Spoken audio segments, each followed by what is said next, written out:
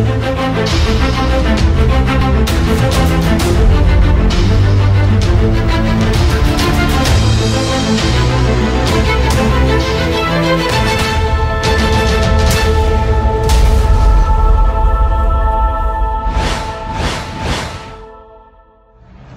med tre poeng.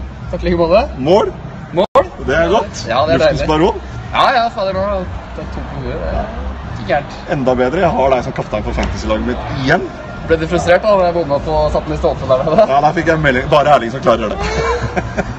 Men eh, du, eh, det ble jo spissvinkel. Jeg så jo det på rep repetisjonen etterpå. da. Ja, det var det. Altså litt, eh, litt ute av balanse, og så så jeg at han hadde bekken var på en forretning så da følte jeg at jeg ikke kunne Jeg måtte sette den lære på stedet. Ja, ja, vi vant. Så Var det varmt, eller? Ja, det var Ja, det var grusomt. Hva, hva skjedde med deg? Så du i andre omgang når du skjedde et eller annet, og så løp du ut på benken? Det var, det var noe Du var ikke så skada nå? Nei, det var ikke det var i nærheten, da. Jeg Stikker bare opp i, på vippen her, eller? Gjør du det, Mats? Ja, nei, vi har bare et intervju, men det går bra, da. Er det noe mer du vil si? Og Ikke noe skade? Ikke noe skade, så klarte å spise ut siste rest. Men det kom så. Ellers, hvordan syns du det går? Matchen, altså Dere fikk jo nå, i motsetning til starten, skåre på de to første sjansene omtrent. Ja, omtrent. Jeg har vel en uh, avslutning uh, først der som Ja. bygger redder, men uh, mer effektiv nå. Så det er selvfølgelig veldig positivt. Og det, er, det vil jeg si på sesongen.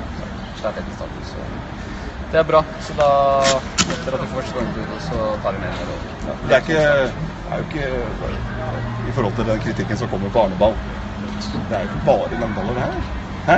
Nei, det er ikke så mye langballer, er det det? Nei, Nei, vi ikke- vil jo, og ønsker jo ikke planen, Vi driver ikke og trener for å stå i lange. Vi Nei. trener på Jeg har jo vært på treninger, og jeg hører jo at Arne skriker at vi kutter ut og Ja. keep it on the deck og Ja, ja. At the floor, det er standardfrasen hans. Ja. Det sier han sikkert 100 ganger hver trening. Så. Ja, jeg syns vi gjør en ålreit match i gjennomgang, i hvert fall. Ja, andre var bra. Da må det jo se bra ut. Ja. Så. Ja, men jeg syns det er underholdende. Ja, jeg syns det er dritkult. Jeg syns det virker solide i forhold til de sesongene før hvor jeg Det er liksom ikke noe fremdrift. da. Jeg, nå så vet jeg at det er solid. Defensivt så er vi trygge. og ja, Når du ligger på topp, så er det noe helt annet. Vi fikk jo et helt annet spill eh, når du kom på topp, at vi kan true det rommet mer istedenfor to mer stasjonære spisser. da. Ja, det blir kanskje mer plass for de rundt meg også. Jeg drar og går og på plass. Vi får litt mer på rommet å spille. Så det fungerer i hvert fall bra om dagen med den uh, vi har nå. Det må være gøy å spille når det er sånn. Ja, vi har det gøy sammen utpå der, og vi spiller med selvtillit. Det føles veldig bra. Så vi er uh, komfortable uansett hvem som spiller ballen. Er, Nå er det Sarpsborg borte neste? Legge seg bak og bare trille den inn igjen? da? Ja, ja, det Blir litt verre, kanskje? De er jo de, Ja, det er et Ja, godt de har lag. vel eh, tapt vel mot eh, Sandefjord, og så Ja. gjør de Brann der, så det må ikke helt betyr. Så vi skal gi dem fight, vi. Ja, det. Da får jeg lykke til, da. Gratulerer igjen. Samuel, gratulerer med ny jobb. Første dag eh, som Big Boss. Takk for det. Hva er ambisjonene dine? Ambisjonene mine er å fortsette med det jeg gjør i dag. Og det er takket være trener, godt støtteapparat, fantastiske spillere. De eh, jobber så fast, og derfor fortsetter vi. Men sånn langsiktig så har du vel større ambisjoner enn det Lillestrøm har vist hva skal jeg si, de siste eh, ni åra, etter vi tok en eh, tittel i 2007. Ja, det er jo sånn at som jeg nevnte i andre sammenhenger òg, så med, med tanke på framtida. Vi skal ha planverk, vi skal ha strategier, vi skal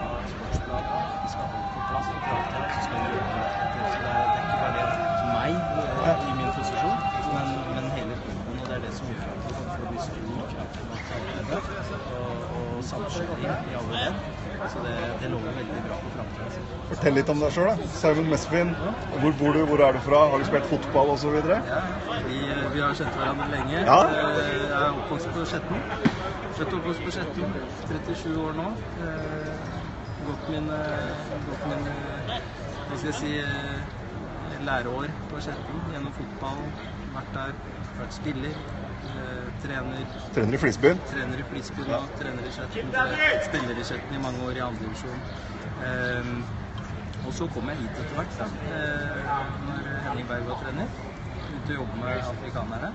Eh, kun det da. Og så har det blitt større og større oppgaver etter hvert. Og så, og så står jeg her nå. Og det, det må jeg bare si at det er ikke noe som har skjedd i natta. Knallhard jobbing i mange, mange år. Eh, hatt en målsetning, og så jobba deretter. Eh, og så har jeg hatt utrolig mange fine erfaringer med, masse eh, spillere, trenere, ledere, eh, som jeg håper jeg kan dra nytte av. For det, når folk har snakka om det å ansette en ny sportssjef eller direktør Sjef, ja. Så er det mange som har snakka om store navn, at Lillestrøm må være, ha litt hårete baller. Vi har snakka om Thomas Berntsen i Sarpsborg. Men øh, hvorfor øh, føler du, eller tror du, at de valgte deg, og ikke gikk for hva skal jeg si, et større navn, for å si det på den måten? Ja, eh, det var et godt spørsmål. Det er egentlig litt vanskelig for meg å si sånn konkret og med det, det er noen andre som har tatt en avgjørelse. Men det jeg håper at det er grunnlag for, er at eh, de har sett over tid at det, eh, jeg er god i forhold til personalhåndtering. At jeg behandler eh, både spillere og trenere og ledere måte. Har lojalitet i bånn til klubben, til menneskene som er her. Jeg jobber systematisk eh, og tenker utvikling hele tiden. Eh, så jeg er i rivende utvikling, jeg også. Akkurat som det samme som spillere. Du har en, velkommen hjem. Takk for det. Hva syns du om eh, matchen i dag? Nei, eh, Lillestrøm vant fullt fortjent. Jeg syns den var, ble spilt litt lav i de første 15-20 minutter, men eh, når de er så effektive som de er i dag og skårer I hvert fall i første omgang. I første omgang skårer på to av tre og får kampen i sitt spor. og I andre omgang så kjører de over Strømsgodset. Så det er full fortjent seier. Utrolig moro å være og se gamleklubben vinne igjen. Så det er sol. Fordi Lillestrøm er litt her. Selvfølgelig er den det. Ja, det er godt å høre. Godset fryktelig svak her. Ja, det, altså det, det var så taper som jeg aldri har sett den før. Man skal ikke rope ut ordet krise ennå, men eh, sånn som de ligger under 2-0 i en så viktig kamp, og kommer ut etter pause og ikke produserer en sjanse nesten, det, er det noe som gjøre. Deg, hva er statusen med deg? Hvorfor driver du med sånn headset og mikrofon? Nei, eh. Nei, nei, jeg har en skade i ryggen som har holdt ute av spill, så da tenkte jeg i mellomtida når jeg ikke kan spille, så kan jeg Dobbeltlønn? Det òg. Ja. Kan eh, bidra å være på indre bane og få litt fotball allikevel. og Dere sunnmøringer er dere selv like. ikke sant? Ja, vi svømmer sånn. Ja. Vi svømmer sånn. Nei da, men det er litt for å få erfaring å ha en plan B, C, D. Men skal ikke du bli trener sammen med Buren? Er ikke det som men er plan A? Jo, det er plan A. Ja. Den holder jeg på med også. Ja, ok, Jeg trener flere lag i Ålesund, så den, den planen er vel så viktig som den. Det er bra. Ønsker deg lykke til og god bedring med ryggen. Takk for det. Godt å se deg igjen. Likeså.